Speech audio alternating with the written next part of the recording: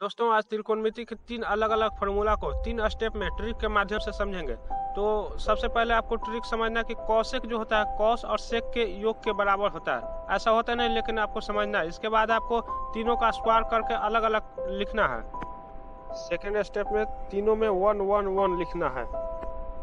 Last में दोस्तों plus minus plus लिखना है। यानी कौशिक स्क्वायर थीटा में one plus cosec square theta में वन माइनस और सेक स्क्वायर थीटा में वन प्लस